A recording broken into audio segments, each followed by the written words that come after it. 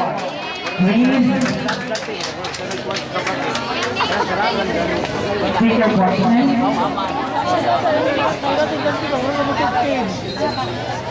Let me read the question.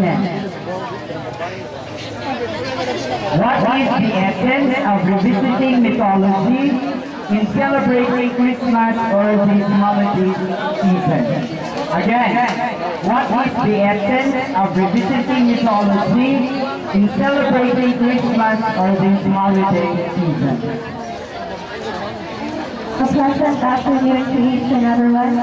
I am Karina Humamoy representing Mary Help of Christian School.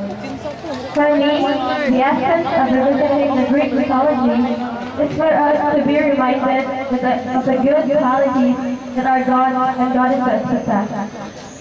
I will give you an example. This Christmas, we all know that our fellow brothers and sisters are struck with calamities that no man can control.